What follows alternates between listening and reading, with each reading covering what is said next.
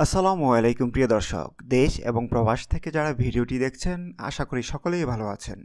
এবার বর্জ্য থেকে বিদ্যুৎ উৎপাদন করবে বাংলাদেশ। দেশে বর্জ্য থেকে বিদ্যুৎ উৎপাদনের কথা বহু বছর ধরে শোনা যাচ্ছে। এর বাস্তবায়ন দেখা যায়নি।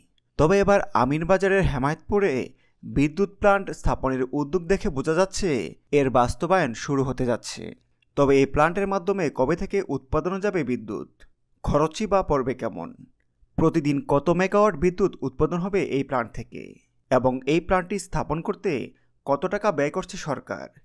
এই সকল কিছুর বিস্তারিত নিয়ে সাজানো হয়েছে আমাদের আজকের পর্ব। বিশ্বের বহু দেশে বর্জ্য থেকে বিদ্যুৎ উৎপাদন কেন্দ্র রয়েছে। তবে বাংলাদেশে এটি প্রথম। তাই এখন আর বর্জ্য পরিবেশ দূষণের কারণ হবে না।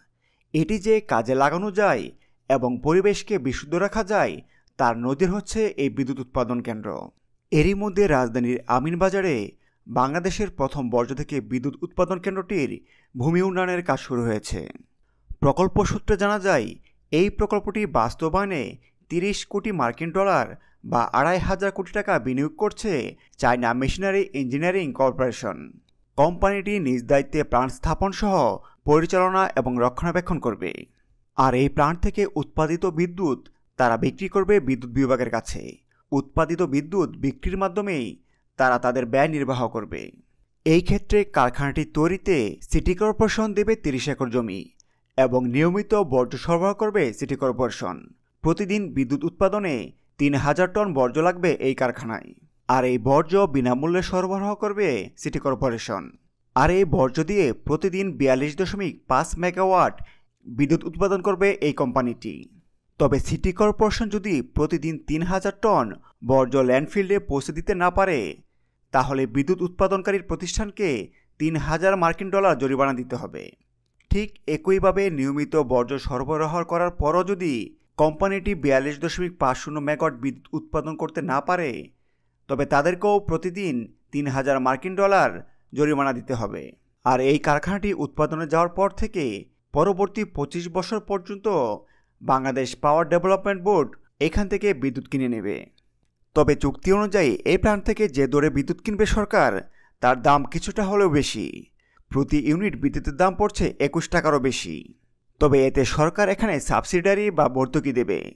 দাম বেশি হলেও একদিকে যেমন বিদ্যুৎ উৎপাদন হচ্ছে, অন্যদিকে পরিবেশের জন্য হুমকিতে থাকা বর্জ্যের সঠিক ব্যবস্থাপনা হবে। কেননা শুধুমাত্র ঢাকা উত্তর সিটি কর্পোরেশনের এই আমিনবাজার বর্জ্য ল্যান্ডফিল্ডটি ব্যবস্থাপনার জন্য প্রতি বছর বিশ কোটি টাকার মতো বাজেট থাকে। তারপরের জন্য সঠিকভাবে এই বর্জ্য ব্যবস্থাপনা হচ্ছে না। ক্রমান্বয়ে বাড়ছে পরিবেশ দূষণ। তবে দেশের এই প্রথম বর্জ্য থেকে বিদ্যুৎ উৎপাদন কেন্দ্রটি সফল হলে বর্জ্য আর পরিবেশ দূষণ নয়, এটি সম্পদে রূপান্তর হবে। পরিকল্পনা অনুযায়ী দু হাজার পঁচিশ সালের অক্টোবরের মধ্যেই এই প্লান্ট থেকে বিদ্যুৎ উৎপাদন যাবে কর্তৃপক্ষ। সূত্র থেকে জানা যায়, শুধুমাত্র ঢাকা উত্তর সিটি কর্পোরেশনের এই আমিনবাজারের বর্জ্য থেকে বিদ্যুৎ উৎপাদন কেন্দ্র নয়। এরই মধ্যে চট্টগ্রাম, গাজীপুর এবং নারায়ণগঞ্জেও এমন বর্জ্য থেকে বিদ্যুৎ উৎপাদন কেন্দ্রের উদ্যোগ নেওয়া হয়েছে। এই প্রকল্পগুলো সফল হলে পর্যায়ক্রমে সারা দেশের সকল সিটি কর্পোরেশন এবং উপজেলাতেও এই বর্জ্য থেকে বিদ্যুৎ উৎপাদন কেন্দ্রের পরিকল্পনা রয়েছে সরকারের। যদিও এটি বাংলাদেশের প্রথম বর্জ্য থেকে বিদ্যুৎ উৎপাদন কেন্দ্র তবে উন্নত দেশগুলো অনেক আগে থেকেই বর্জ্য থেকে বিদ্যুৎ উৎপাদন করে আসছে। এর মধ্যে শীর্ষে রয়েছে চীন।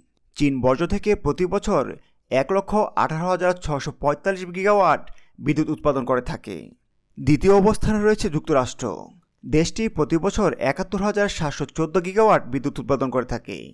তৃতীয় স্থানে রয়েছে জার্মানি। সাতান্ন হাজার দুইশো গিগাওয়াট বিদ্যুৎ উৎপাদন করে থাকে। এছাড়াও যুক্তরাজ্য, Brazil, Japan, Italy, Thailand, Sweden সহ আরও অনেক দেশ বর্জ্য থেকে বিদ্যুৎ উৎপাদন করে।